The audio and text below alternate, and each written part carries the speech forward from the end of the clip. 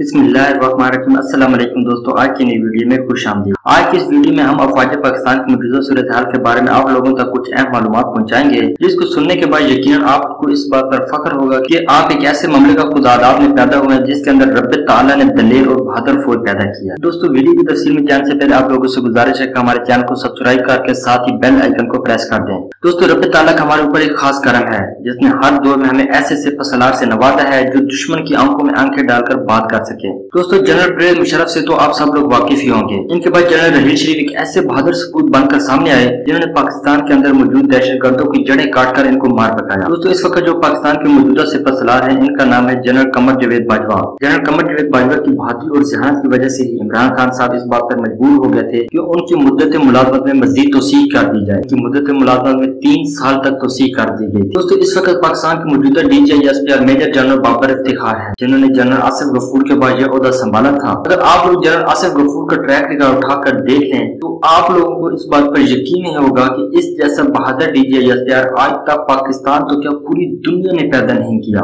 दोस्तों, इस वक्त पाकिस्तान आर्मी के मुद्दा सर्विस नौजवानों की तादाद तकरीबन पाँच लाख पचास हज़ार है, जबकि जो नफरी बैकअप के लिए रखी गई है, इसकी तादाद पाँच लाख तक मौजूद है। इसके अलावा तकरीबन पाकिस्तान के अंदर इस वक्त पाँच करोड़ ऐसे नौजवान हैं जो किसी भी जंग की सूरत हाल में अपने वतन की खातिर जान कुर्बान करने के लिए सबसे पहले मौजूद हों हमारी आर्मी का हेडक्वार्टर रावलपिंडी के अंदर मौजूद है। और दोस्तों, इस आर्मी का मकसद सिर्फ़ ईमान, तकवा और जहाद फ़ी सबीलिल्लाह है। दोस्तों ये आर्मी सिर्फ़ और सिर्फ़ इस्लाम और अल्लाह पाक की खातिर लड़ती है। जब ये बहादुर सिपाही अल्लाह अकबर की सदा बुलंद करते हैं तो इनका जज्बा ईमान इस हद तक बढ़ जाता है कि दुश्मन कितना भी ताकत में हो, वो थर थर कांपने लगता है। उसी पैंसठ की जंग की किस्से तो आप लोगों ने सुन रखे होंगे, जब दुश्मन ने रात की तरीके में हमला कर दिया। मगर वक्त ने पाकिस्तान के बहादुर सिपाही और सिविलियन जान की परवाह न करते हुए दुश्मन को ऐसा सबक सिखाया। पूरी दुनिया हैरान और परेशान रह गई थी। दोस्तों, उन्नीस सौ अठहत्तर से लेकर अब तक अफ़गानिस्तान की जो सूरत हाल रही है, वो फिर से ढकी छुट्टी नहीं है। अफ़गानिस्तान की सूरत हाल के अंदर सबसे अहम किरदार पाकिस्तान की इंटेलिजेंस एजेंसी का रहा है। जब अफ़गानिस्तान में सिविल वार शुरू हुई थी, इस वक्त तकरीबन पचासी लाख अफगान महाजरीन को वतन पाकिस्तान ने पना दी थी, जिनमें ज़्यादातर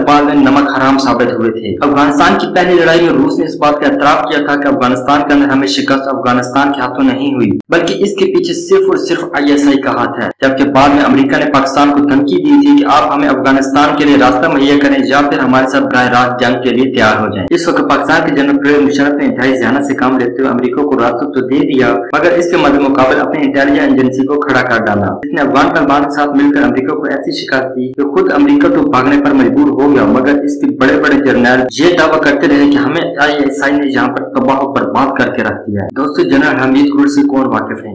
जिनकी पैदाइश पंजाब के बहादुर शहर सरगोदा में हुई, जिनकी जहानत के किस्से पूरी दुनिया के अंदर मौजूद हैं। इन्होंने आईएसआई की इस हद तक खिदमत की कि रहती दुनिया तक इनको कोई भूल नहीं पाएगा। दोस्तों, जब मक्कार दुश्मन बॉर्डर पर हालात खराब किए हुए था तो इस वक्त जनरल हमीद गुल ने तारीखी अल्फाज कहे थे। इनके अल्फाज कुछ इस तरह से थे, एक सिपाही कभी बूढ़ा नहीं होता, वो बूढ़ा तब होता है जब इसका काम खत्म हो जाता है। हम पच्चीस लाख रिटायर्ड फौजी मौजूद हैं, हम खड़े होंगे और हमारे साथ नौजवान मुजाहिदीन खड़े होंगे। इनके ये अल्फाज ही काफ़ी थे हिंदुस्तान की नींदें बर्बाद हो गई दोस्तों, अपनी अफवाज और इंटेलिजेंस एजेंसी को सपोर्ट करते रहे। इनके खिलाफ कभी गलत अल्फाज मुँह से ना निकाले। आपका दुश्मन आपसे बहुत बड़ा है, मगर आप अपनी अफवाज का साथ दें और इनको अपनी दुआओं में याद रखें। अल्लाह पाक हम सबका हमें नासिर हो। हम अल्लाह पाक से ये दुआ करते हैं कि वो पाकिस्तान आर्मी के अंदर मजीद हौसला और जज्बा बेदार कर दे।